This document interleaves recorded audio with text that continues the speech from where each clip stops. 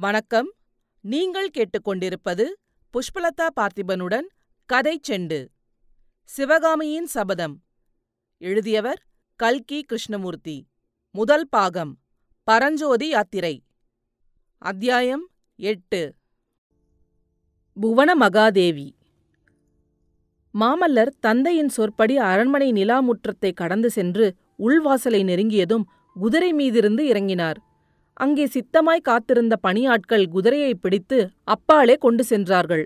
பிறகு மாமல்லர் விசாலமான அந்த அழகிய அரண்மனைக்குள் பிரவேசித்து தீபம் ஏந்துவோர் தம்மை பின்தொடர்ந்து வருவதற்கு திணறும்படியாக அவ்வளவு விரைவாக நடந்து சென்றார். புதிதாக அந்த அரண்மனைக்குள் பிரவேசிக்கிறவர்கள் அங்கே குறுக்கு நெடுக்குமாக சென்ற நடைபாதைகளில் வழி கண்டுபிடித்து செல்வது அசாத்தியமாயிருக்கும். நரசிம்மர் அந்த பாதைகளின் வழியாக வளைந்து வளைந்து சென்று அரண்மனை அந்தப்புறத்தை அடைந்தார். அங்கே சிற்ப வேலைகளினால் சிறப்படைந்த ஒரு வாசலை அவர் அணுகியதும் குழந்தாய் வந்தாயா என்று உள்ளே இருந்து ஒரு குரல் கேட்டது. பல்லவ சாம்ராஜ்யத்தின் பட்டத்தரசியான புவன மகாதேவி அந்த புறவாசற்படியில் வந்து நின்றார். அவருடைய கம்பீரமான தோற்றமும் முதிர்ந்த சௌந்தரியவதனமும் திரிபுவன சக்கரவர்த்தினி என்று பல்லவ சாம்ராஜ்யத்தின் பிரஜைகள் அவரை கொண்டாடுவது முற்றும் பொருந்தும் என்று தெரியப்படுத்தின. அம்மா என்ற குரலுடன் அருகில் வந்த குமரனை சக்கரவர்த்தினி இரு கைகளாலும் அணைத்துக் கொண்டு குழந்தாய் இன்றைக்கு என்று ஏதோ சொல்லத் தொடங்குவதற்குள் மாமல்லர் அம்மா உங்களை ரொம்பவும் கெஞ்சி கேட்டுக்கொள்கிறேன். ஒரு வரம் தர வேண்டும் என்றார். புவன மகாதேவியின் முகத்தில் புன்னகை அரும்பியிருந்தது. வரமா நல்லது. கேள் தருகிறேன். அதற்கு பிரதியாக நானும் ஒரு வரம் கேட்பேன். அதை நீ தர வேண்டும் என்று அன்பு கனிந்த குரலில் கூறினார். மாமல்லர் பிள்ளை அன்னையிடம் வரம் கேட்பது நியாயம் பிள்ளையிடம் தாய் வரம் கேட்பது எங்கேயாவது உண்டா?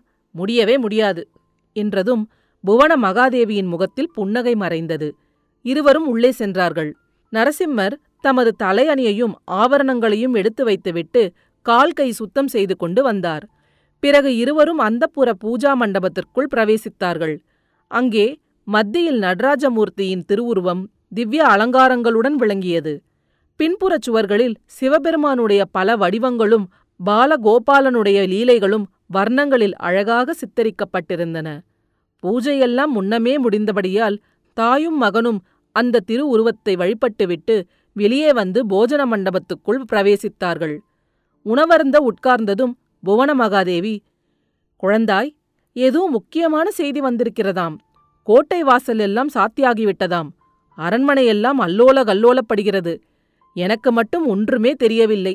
நீயாவது சொல்லக்கூடாதா? பெண்கள் என்றால் மட்டமானவர்கள் அவர்களுக்கு ஒன்றுமே தெரிய வேண்டியதில்லை என்பதாக நீ கூடவா எண்ணம் வைத்திருக்கிறாய்? என்றார்.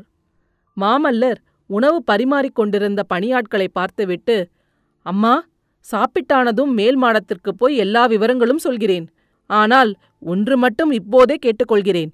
இனிமேல் தினந்தோறும் நான் வந்த பிறகுதான் தாங்கள் ராபோஜனம் செய்வது என்று வைத்துக் கொள்ளக்கூடாது.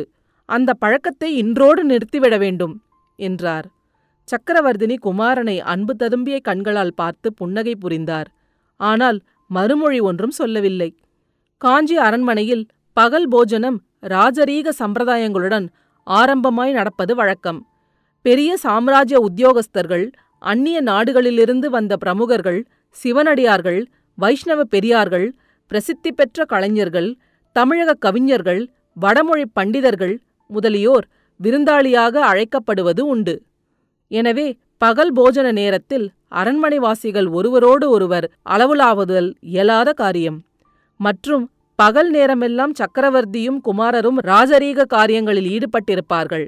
எனவே தாயும் பிள்ளையும் சந்திப்பதற்கு ராப்போஜன நேரத்தை சக்கரவர்த்தி திட்டம் செய்திருந்தார். அதற்கு பிறகு அரண்மனை மேல் உப்பரிகையின் நிலமாடத்தில் அவர்கள் மூன்று பேரும் சந்தித்து பேசுவது வழக்கமாயிருந்தது. இன்றைக்கு சாப்பாடு ஆனதும் தாயும் புதல்வனும் மேல் உப்பரிகைக்குச் சென்று நிலாமாடத்தில் அமைந்திருந்த பளிங்குக்கல் மேடையில் அமர்ந்தார்கள். பால் நிலவில் மூழ்கியிருந்த காஞ்சி நகரமானது அன்றிரவு என்றுமில்லாத அமைதி பெற்று வழங்கிற்று. நரசிம்மவர்மருடைய மனம் அந்நகரின் கீழ்க்கோட்டை வாசலுக்கு சென்றது. இப்போது அந்த கோட்டை வாசலை கடந்து ஒரு சிவிகை போய்க் கொண்டிருக்கும். அந்த சிவிகையில் ஆயனரும் அவர் மகளும் அமர்ந்திருப்பார்கள். ஆஹா! அவர்களுக்குத்தான் இன்றைக்கு எப்பேற்பட்ட ஆபத்து வந்தது. மத யானையின் மீது வேலெறிந்து அவர்களை காப்பாற்றிய வீரன் யாராக இருப்பான்? புதல்வன் தானே பேசுவான் என்று புவன மகாதேவி சிறிது நேரம் காத்திருந்தார். அவன் ஏதோ சிந்தனையில் ஆழ்ந்துவிட்டான் என்பதை தெரிந்து கொண்டு குழந்தாய் என்றார். உடனே மாமல்லர் திடீரென்று கனவு களைந்தவர் போல் திடுக்கிட்டு தாயாரை பார்த்தார். அம்மா அம்மா நான் உங்களிடம் விரும்பிய வரத்தை கேட்டே விடுகிறேன். உங்களுக்கு புண்ணியமாய் போகட்டும். என்னை குழந்தாய் என்று கூப்பிடாதீர்கள். நான் இன்னும் பச்சை குழந்தையா? பல்லவ ராஜ்யத்தில் உள்ள புகழ்வாய்ந்த மல்லர்களையெல்லாம் ஜெயித்து மாமல்லன் என்று பட்டம் பெற்ற பிறகும் என்னை குழந்தை குழந்தை என்றால் நான் என்ன செய்கிறது? அப்பாவோ இன்னும் என்னை தொட்டிலில் கிடக்கும் குழந்தையாகவே எண்ணி நடத்துகிறார். உங்கள் இரண்டு பேருக்கும் இடையில் நான் அகப்பட்டு கொண்டு அதற்கென்ன செய்யலாம்? பெற்றோர்களுக்கு மகன் எப்போதும் குழந்தைதான். என்ற குரலை கேட்டு தாயும் மகனும் திரும்பி பார்த்தார்கள். அவர்களுக்கு தெரியாமல் மகேந்திர சக்கரவர்த்தி பின்னால் வந்து நிற்பதை தெரிந்து கொண்டு இருவரும் பயபக்தியுடன் எழுந்து நின்றார்கள். மகேந்திரர் பளிங்கு மேடையில் அமர்ந்ததும் புவன மகாதேவியும் மாமல்லரும் உட்கார்ந்தார்கள். தேவி குழந்தை ஏதாவது சொன்னானா? என்று சக்கரவர்த்தி கேட்டார். இன்னும் ஒன்றும் சொல்லவில்லை. என் பேரிலும் உங்கள் பேரிலும் குறைதான் சொல்லிக் கொண்டிருந்தான். குறை சொல்லாமல் வேறென்ன சொல்லட்டும் அப்பா? பல்லவ ராஜ்யத்தில் அந்நியர் பிரவேசித்து செய்தி கிடைத்த பிறகும் நாம் வெறுமனே கையை கட்டிக்கொண்டு உட்கார்ந்திருப்பதா? சேனாதிபதி கலைப்பகையார் சேனை திரட்டுவதற்குள் கலியுகமே முடிந்துவிடும் போலிருக்கிறதே. இத்தனை நேரம் நமது சைன்யம் போருக்கு கிளம்பியிருக்க வேண்டாமா? என்று கொதித்தார் மாமல்லர். பல்லவ ராஜ்யத்தில் அந்நியர் பிரவேசித்தார்களா? இது என்ன? என்று புவனமாதேவி வியப்பும் அவநம்பிக்கையும் தொனித்த குரலில் கேட்டார். ஆம் தேவி அற்ப சொற்பமாக பிரவேசிக்கவில்லை. பெரும் படைகளுடனே திடீரென்று பிரவேசித்திருக்கிறார்கள். பல்லவேந்தரா மந்திரலோசனை சபையில் நான் மட்டும் வாயை திறக்காமல் இருக்க வேண்டும் என்று ஏன் கட்டளையிட்டிருக்கிறீர்கள்? எல்லாரும் ஏதோ பேசியபோது என் மனம் கொதித்த கொதிப்பை மிகவும் முயன்று அடக்கிக் கொண்டிருந்தேன். மாமல்லரின் பேச்சை மறுத்து சக்கரவர்த்தி தமது பட்ட மகிழ்ச்சியை பார்த்துச் சொன்னார். தேவி நரசிம்மன் இன்னும் குழந்தையாகத்தான் இருக்கிறான். வந்திருக்கும் யுத்தம் எப்பேற்பட்டதென்பதை அவன் அறியவில்லை. இரண்டு பேரும் கேளுங்கள். வாதாபி மன்னன் புலிகேசி பெரும் படைகளுடன் துங்கபத்ரை நதியை கடந்து நமது ராஜ்யத்துக்குள் பிரவேசித்திருக்கிறான். அவனுடைய சைனியத்தில் லட்சக்கணக்கான வீரர்கள் இருக்கிறார்களாம். ஆயிரக்கணக்கில் யானைகள் இருக்கின்றனவாம். பெரிய காளைகள் பூட்டிய நூற்றுக்கணக்கான வண்டிகள் தொடர்ந்து வருகின்றனவாம். பதினாயிரக்கணக்கான குதிரை வீரர்கள் வருகிறார்களாம். வெகு காலமாகவே புலிகேசி இந்த யுத்த ஏற்பாடுகளை செய்து வந்திருக்கிறான். நமது ஒற்றர்கள் எப்படியோ ஏமாந்து போயிருக்கிறார்கள். நமது எல்லை காவல் படைகளை புலிகேசியின் ராட்சச சைன்யம் வெகு சீக்கிரத்தில் முறியடித்துவிட்டு அதிவேகமாக முன்னேறி வருகிறதாம். அந்த சைன்யத்தை தடுத்து நிறுத்துவதற்கு வேண்டிய படைபலம் தற்போது நம்மிடமில்லை. ஆங்காங்குள்ள நம் படைகள் பின்வாங்கி வந்து கொண்டிருக்கின்றன.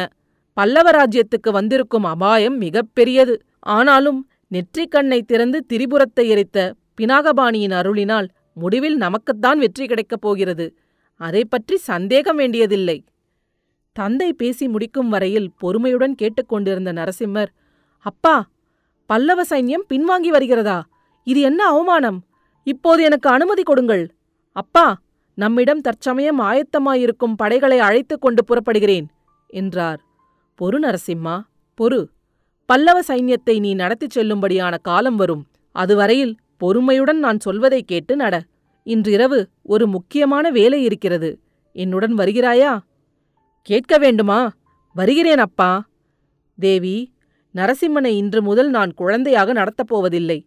சகாவாகவே நடத்தப் போகிறேன். மந்திர ஆலோசனைகளில் கலந்து கொள்ளும் உரிமையையும் இன்று முதல் அவனுக்கு அளிக்கப் போகிறேன். நீயும் இனிமேல் அவனை குழந்தை என்று அழைக்க வேண்டாம் என்றார் சக்கரவர்த்தி. புவன மகாதேவியை படுப்பதற்கு போகச் சொல்லிவிட்டு தந்தையும் மகனும் அரண்மனையிலிருந்து வெளியேறிச் சென்றார்கள். அடுத்த அத்தியாயத்தில் விரைவில் சந்திப்போம். கதைச்செண்டு பற்றி உங்கள் நண்பர்களிடமும் உறவினர்களிடமும் பகிரவும். உங்கள் கருத்துக்களை கமெண்ட்டுகளில் பதிவிடுங்கள். உங்கள் கருத்துக்களை கேட்க ஆவலுடன் காத்துக் கொண்டிருக்கின்றேன். நன்றி. நீங்கள் கேட்டுக்கொண்டிருப்பது புஷ்பலதா பார்த்திபனுடன் கதை செண்டு.